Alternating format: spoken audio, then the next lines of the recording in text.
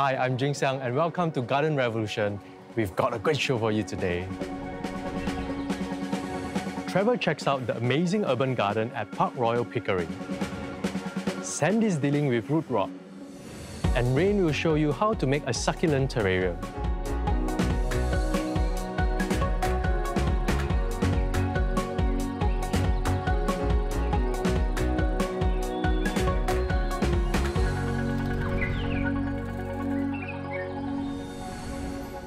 Types of indoor plants. Some of them are ridiculously easy to care for and yet still look good. So here in my hand is the common peace lily. It's fairly small and it comes with this nice white flower. But today I want to show you something else. I want to show you something that has a little bit more oomph. And here on my left, you see this big luscious green leaf. This is the giant peace lily. It is botanically called the Spathiphyllum sensation. Our specimen here today does not have any flowers, but trust me, when it flowers, it's going to be much bigger than this little guy over here.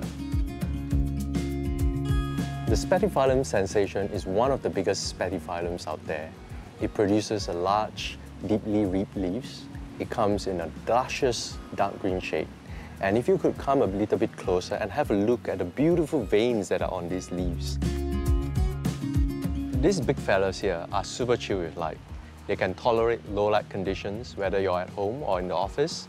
And if you choose to have them there, you can actually grow them under artificial light.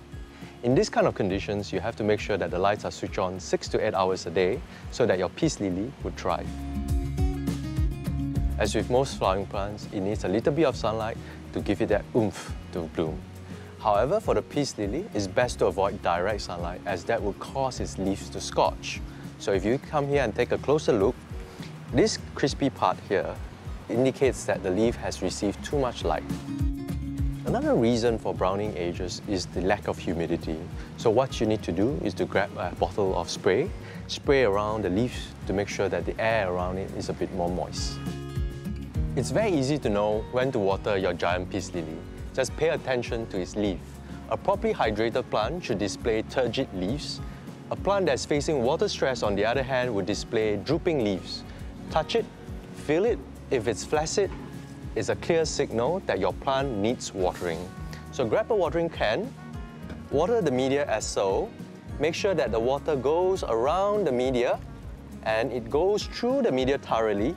Ensure that sufficient water is given until the water comes up from the bottom of the pot.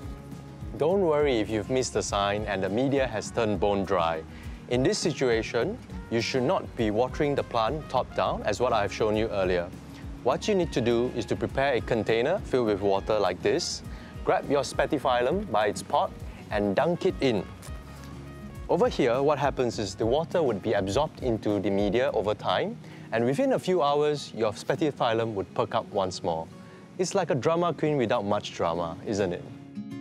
And to keep it pristine, always use a cloth and wipe down the dust that are collecting on it.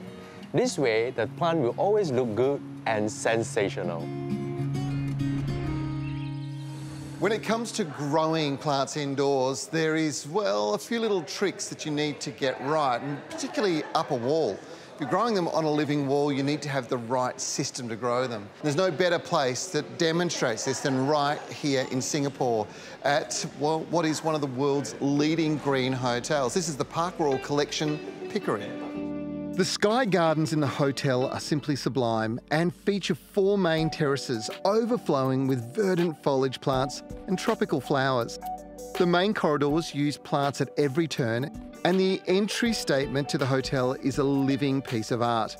The water supply and soil work together to sustain and support growth, and one element few people consider is nutrition. Plants on walls need to be fed too, so liquid nutrients are added regularly to ensure the dark green look with this foliage. Now, one of the most critical things to any indoor plant surviving is the light that it gets. Now, on a bright wall like this with direct sunlight coming through there, these plants are doing okay with their light gold foliage.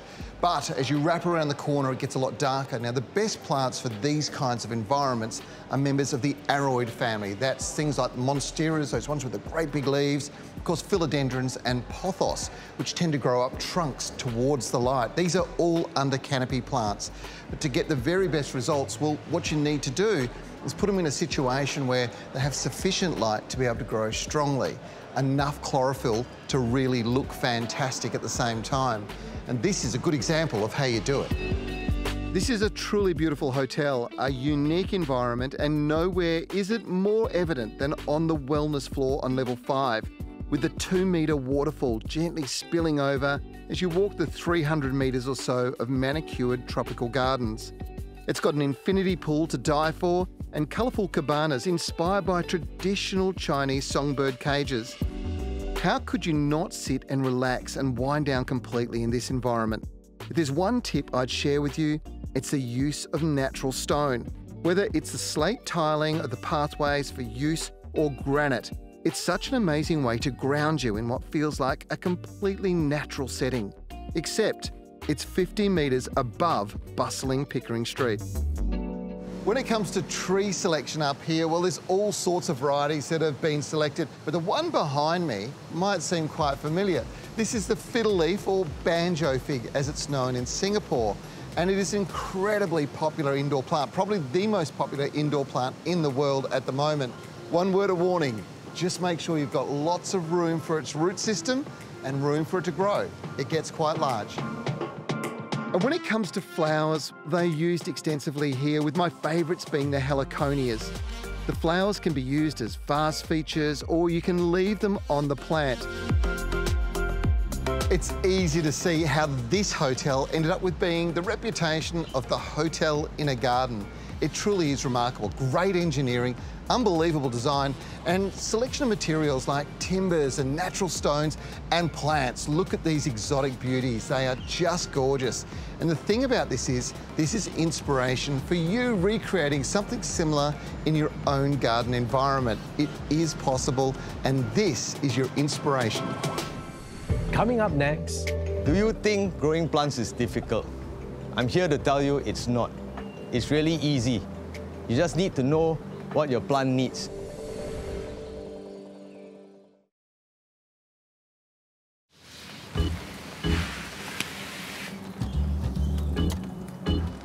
Do you think growing plants is difficult?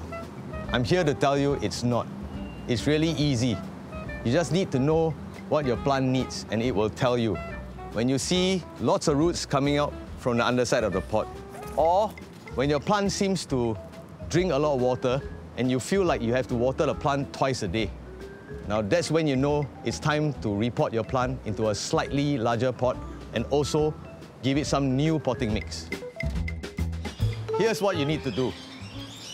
First of all, unpot the plant.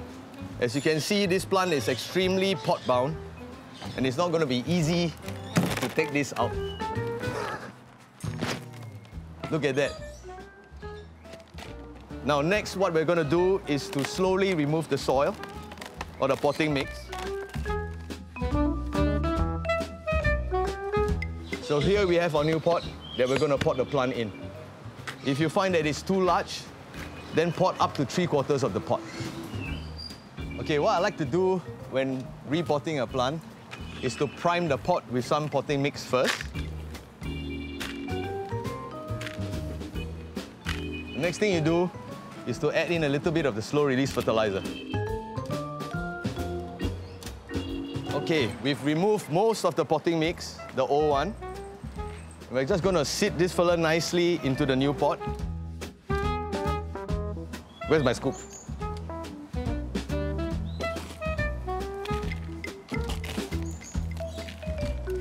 Be sure to give it a shake so that the new potting mix can settle in. Now the large particles help with the drainage and quick drying nature of this potting mix. The fine particles are the ones that will help with the root growth, both primary, secondary and tertiary roots. Now once done with this, what you can do is to add another layer of the slow release fertilizer. After this, the last step would be watering your plant very generously so that the potting mix can settle in. And use a gentle shower. You can shower the leaves as well. And make sure you drench the media very, very thoroughly. You'll see all the water dripping out here. Now repeat this several times. And voila, we are done. We have our very own little garden in Landscar, Singapore? With some creativity, yes we can. Today I'm here at the community garden in Woodlands. Let's meet my friend Ganesh who started this amazing garden. Let's go! Hi everyone, I'm Ganesh and welcome to the Woodlands Botanical Garden. This garden began during the COVID pandemic in 2020 and now spans nine stories in height. So with almost 3,000 square meters, we are currently Singapore's largest community garden. So um, now we have about 250 over species of ornamental plants, plus uh, about 60 species of butterflies. So now this garden serves not just as a sanctuary for biodiversity and mental wellness, but also as a gathering space for the community as well. Ganesh! Hey, hi Margaret! Good to see you again. Yeah, how have you been? I'm good. Come, welcome to our garden, you know. Okay. Yeah, it's a beautiful day. Let me take you around.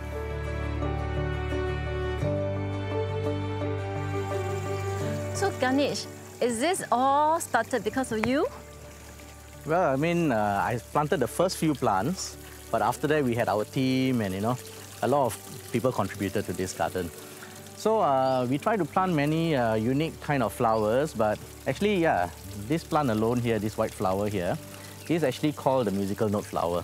Oh, that's a beautiful name. So why do you think it's called the musical note flower? Oh, I'm not sure. Okay, so you see the bud, Yeah. you see it's in the shape of a musical note. Oh, yeah. Yeah, so it's not really the flower itself, but the buds of the flower. So Ganesh, can you share with us how does this project actually benefit yourself or even the residents' mental well-being? So uh, for myself, I think uh, a lot of people know I started this project because uh, of the passing of my mom. You know, then it was to overcome that difficult time in my life. lah. When we first started, right, there was this lady who used to walk this garden. You know, like uh, she started only after we started planting, and she used to come with this uh, back brace. So I asked her, Auntie, you know, you are in pain. Why you want to climb the hill? Then she tells me that you know this is the one thing she uh, looks forward to every day. Lah. You know, when she comes and see the flowers, she's so happy. Because this is what a garden is all about, you know, not just bringing people together, but making them feel better. Ganesh's story is just one of the very touching one happening in this Woodlands Botanical Garden. And the garden is just simply so beautiful and therapeutic. Come and visit the garden if you have time. It is very important to create the right environment for your plants to grow in. A happy house helps them to thrive, and a very big part of it actually comes from the pot that they are planted in. As I work with cactus and succulent most of the time, one of my absolute favorite is the terracotta pot. Terracotta means baked earth in Italian. It comes from a porous clay that can be molded and baked into various shapes. Historically, terracotta was used to make a variety of objects, including figurines of all sizes like the famed terracotta army in China. Terracotta has been used for ages to make pots for plants. They can be identified by their reddish-brown coloring and for this particular sound. Okay. You can also spot them even if they've been painted on the outside. Just take a look inside. For the reddish-brown color and also again for this sound. They can be quite brittle, um, forming little cracks like this after a while, but this is because of one of their most distinctive feature in that it is very porous and the walls of their pot is able to draw water out from the soil to the surface. So you look over here, we already have dark patches forming. This is what happens after a couple of minutes after you've watered them.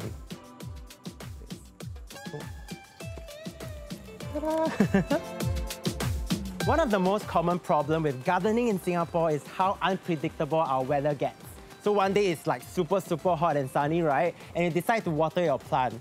But what Singapore wants to do is to change the weather and go for five days straight of raining. And in this kind of situation, your plant does not drink as much water.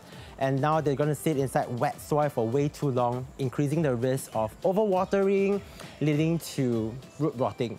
So a pot like this, a terracotta pot like this that drains fast, actually gives you more chance to control the flow, especially with a succulent or a cactus like this. Okay, it dries faster, so on a warm day or hot sunny day, you are able to then just water more and just water once a day or even go for once every three days uh, if it's a very, very warm weather and then control uh, the watering frequency for a plant much better than sitting back and hoping that your plant survives a period of overwatering.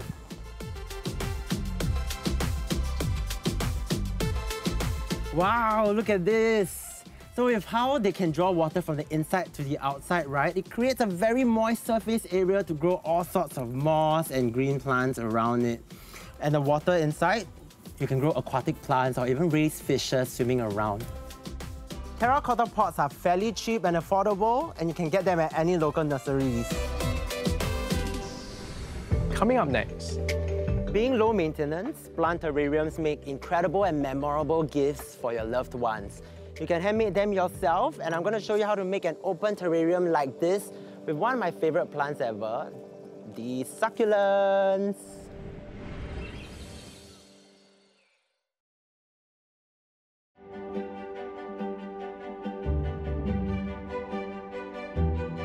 Aroids have taken the world by storm over the past few years. They are extremely popular because of their beautiful foliage, as you can see, as well as their forgiving nature, which makes them very hardy houseplants. Did you know that there are over 4,000 species of aroids in the world? Here we have a beautiful philodendron white princess. As you can see, it's a showy plant with beautiful, nice variegation on its leaves. And if you look over here, you can see some nice pink coloration on the leaf sheath. As you can see, it's a climbing plant, hence we have the uh, moss pole for the roots to adhere to. Now we recommend that uh, to spoil our Royal Highness the White Princess, it's best to grow her in a soilless potting mix. To pot our Philodendron White Princess, we recommend a standard plastic pot. Black color is best, brings up the green and white with uh, multiple holes. Next, on to the potting mix. You can see here that uh, it's made up of many different components. We have uh, the chunky bits, which are the pumice and pine bark chips. This helps for quick drainage and uh, quick drying. Now don't just focus on the chunky bits all the time. Size doesn't always matter. Remember, don't forget about the little guy who is equally important to this potting mix, and that would be the cocoa peat. This ingredient will help to retain enough water to keep your roots happy and healthy.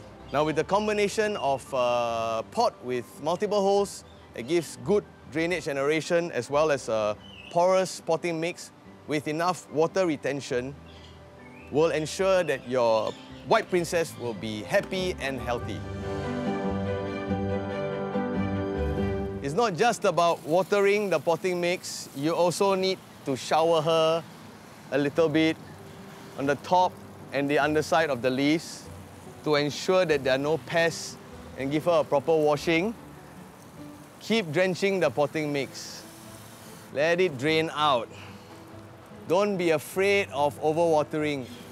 The potting mix will retain a finite amount of water at saturation point. So even if you water this a hundred times, it will hold the same amount of water in the potting mix.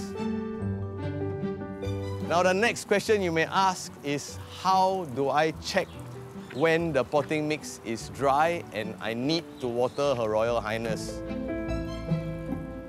Get a stick. Don't use your fingers to check the media. It doesn't work that way. Your finger can only go about two or three inches into the potting mix. Get your stick, poke it all the way into the bottom of the pot. And when you pull it out, you can check, check for dampness or any bits of uh, mix that are stuck to it. then it will show that it is still damp. You don't have to water it. Alternatively, you can go from below the pot and poke into one of the holes with a chopstick. You can grow the philodendron white princess outdoors, even in the rain. If you're growing indoors, best to grow it next to a window where it can receive some direct morning sun or afternoon sun. Avoid the noon sun. It's the harshest and it could cause some leaf burn. If you don't give her enough direct sunlight, she could lose her variegation and revert to all green. Bye-bye white princess. That's something that we don't want to see happening. Do you know that the terrarium originated from the 19th century? Plant hunters needed a controlled space to store and transport their wild specimens for months across the seas through various climates. These days, terrariums are gaining popularity too as a source of indoor greenery with all sorts of plants in an open or closed glass container.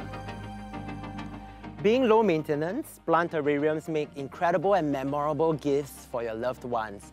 You can handmade them yourself and I'm going to show you how to make an open terrarium like this with one of my favorite plants ever, the succulents. Okay, let's start by choosing a pot. We're going to go for the bigger one here. And then you want to just fill up a little bit of our gritty soil mix for succulents in here first. All right, this is just the base to start with okay? Then now you want to choose your plant first.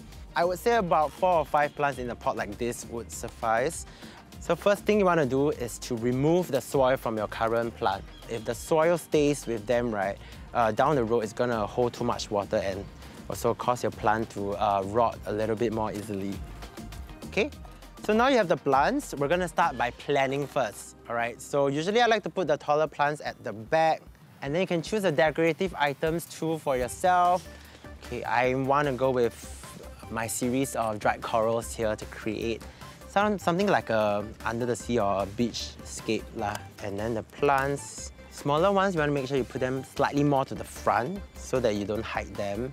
All right, so once you have a design in mind, you can start planting. Make a memory of it, otherwise take a photo if you think you will forget. But then you just want to remove everything from the terrarium okay? Dig a little hole, okay? Put the plant in, all right? Cover it back and add a little bit more soil as you go.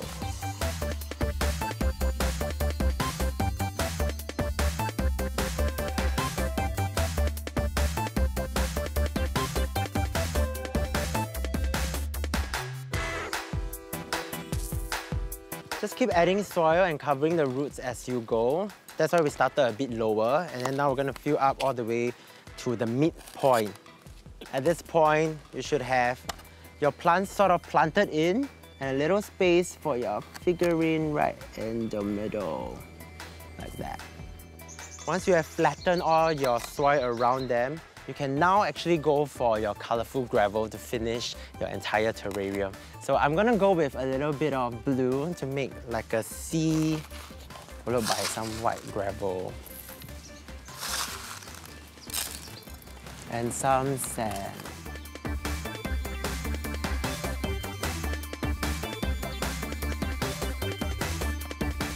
There you go. This is my beach and coral inspired miniature succulent landscape with the cutest little cat in the middle. So all you have to do now is to put this somewhere bright and dry and then watering is only just once every one to two weeks. You want to make sure that you don't overdo your watering though because there is no pothole below. So watering should be around 100 ml each time, all right? So give it a shot, it's pretty fun. We've got lots of great tips for you next week on The Garden Revolution. Till then, keep in touch, let us know what you'd like to see on the program, follow us on our website and social media to find out more about The Garden Revolution.